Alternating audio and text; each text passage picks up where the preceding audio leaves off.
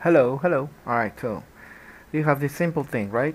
You don't have a material, so let's let's just put a material at the end of the change. I always use emission because that's like a flat shading thing. So you can connect that and then you can connect that. You obviously, if you click Control Shift on this one, you're going to get a viewer. So that way you can skip the physicality of the shader and you can directly preview whatever material you do. So Shift, um, Control Shift, click, you get the viewer. So you have this this uh, ramp ramp thing, um, whatever. If I understood well, what you want to do is to, to make bars along the way. So you need to do two things. Or either if you want to roll them up or, you know, do them here. So I'm going to get to this mapping node, which is like our basic Softimage. If I had, you know what, let me just open a Softimage because it, this, this one is totally remarkable. You need to see this.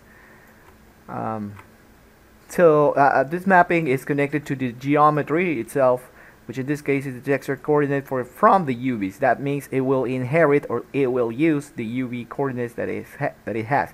In case that you have an object that does not have uh, regular UVs, you can go with the generated um, tab, which will uh, have you use the the local coordinate system, like the way Blender it's reading all of its faces. That's basically it. Like I can explain a lot about this node, but let's just stick to the to the actual question. So the mapping. Let me see if Softimage did open. It's opening right now. So what you want to do is to repeat, right? So for that you need to first know the mapping. Why the mapping? Because it's got different different um, modes where you can project this. So you want to project this this um, gradient texture as it is, and if you notice I should be using a ramp shader. Why? Because that way you can control the actual length of your of your of your um, of your your ramp. Okay. So the way you can do that, if you can see, this one has a yellow output port, and this will output a yellow port, and you can certainly come here and then connect this one here. You're going to get the same result, except that now you can control your your your stuff. Now color ramp is used for many different things. Specifically, I use it to um, to do a threshold. Okay, so much like um, when you're uh, fixing brightness and contrast based on the color data that you have from the node behind you can you know tweak it to make it really sharp or you can even add additional uh, stuff right here so I'm going to use the, the very easy node the very easy method I'm sorry so you can get an idea. Of course now you have your your stuff like this okay? But let's say I'm going to um, be assuming that you want to do this horizontally. So where do you go? You go here to the mapping and then you have location rotation and scale. And since this is this is uh, Z up um, Y forward X um, sideways in local coordinates that is not the case y is correctly up, x is correctly sideways, and z is correctly forward. Yes, I know. Doesn't get explained anywhere in Blender. Let me just do this pretty quick. Yes, Shift A now allows me to make that that little menu that you saw there. I, still need to work on that on that um, stuff, but basically I'm turning Softimage into Blender kind of thing. so that's cool. So texture and from that texture um, if you remember if you double click here uh, not not here where is it? Or is it? Uh, I think it's called texture texture space generator? No not that one.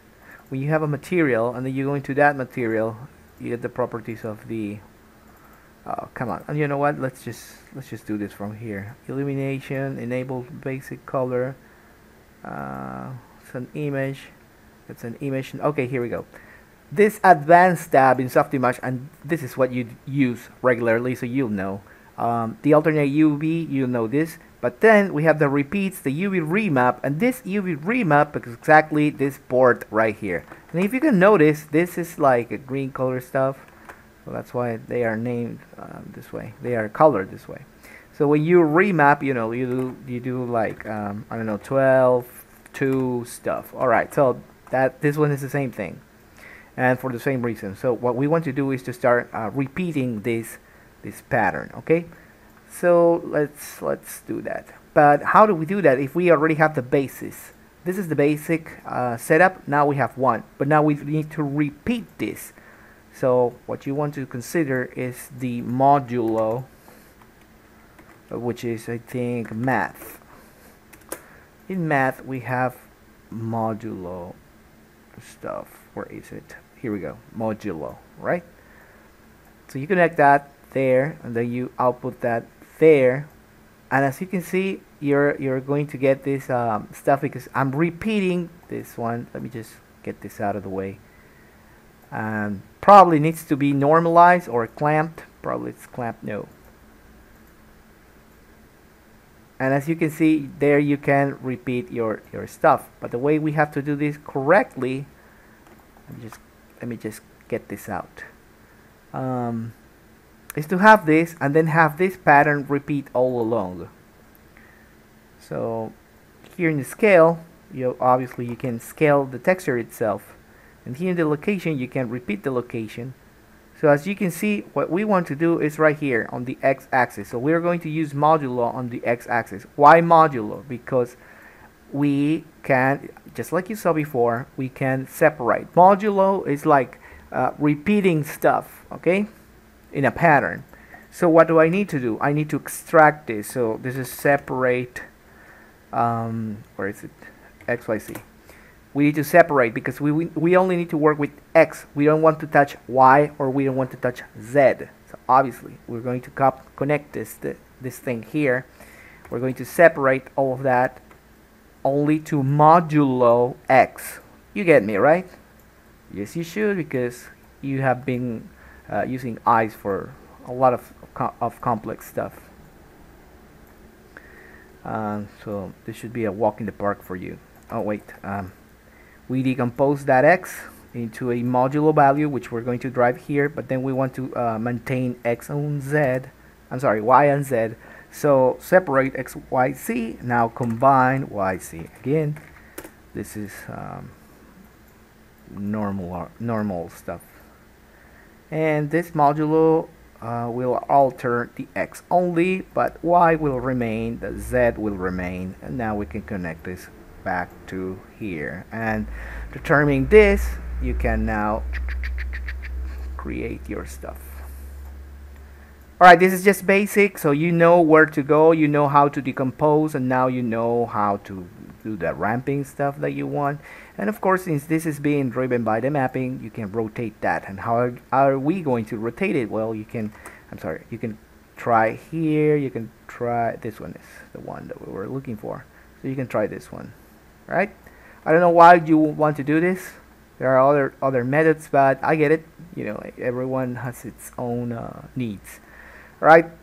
So I hope that this uh, works for you